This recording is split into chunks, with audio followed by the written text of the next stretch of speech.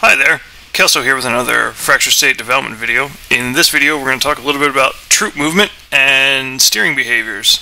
So first things first, what you're looking at here is working multiplayer. I'm uh, playing myself on two different computers in a local area network, and you can see me moving my guy around there.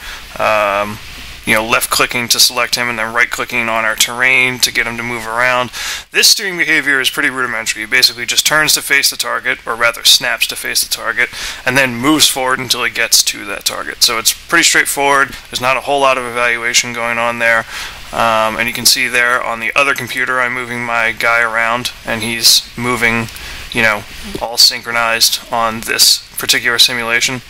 So then I'll finish it off by taking my guy and right clicking on that enemy unit, and he's going to move in a position and shoot that guy. So I win! Yay! Uh, in this next steering behavior, so we sort of decided to iterate on that a little bit.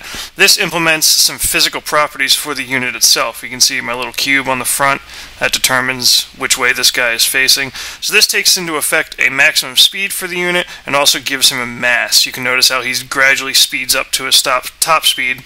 Um, it takes him a little bit of time to get up there. It's not an instantaneous kind of thing. He's still snapping to look at his target, which is not what we want in most cases. Um, and then one thing you'll also notice as he's kind of moving around, if I set him off on a particular sort of destination and then change his destination, you can see he slowly starts to turn, but he doesn't quite make it and ends up moving off into oblivion. Now, this is because we don't have any kind of turn rate data in there. It's basically like taking a car and going at 100 miles an hour and only being able to turn a certain amount and never being able to slow down. So with this, we implemented a turn rate into that same physical property. So you can see here he's gradually turning.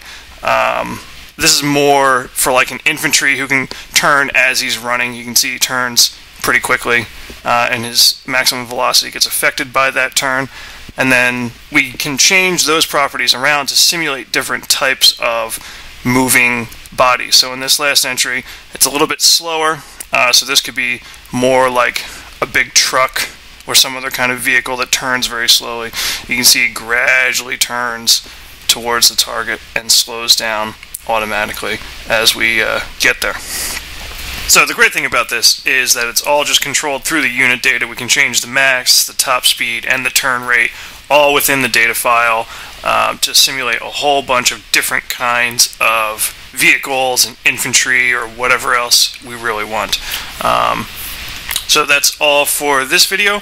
Please remember you can follow us on Twitter, uh, like us on Facebook, and watch us on uh, MyDB. We have a profile up there. And uh, please rate and subscribe to this video. And check back soon for more development videos for Fractured State. Thanks. Bye.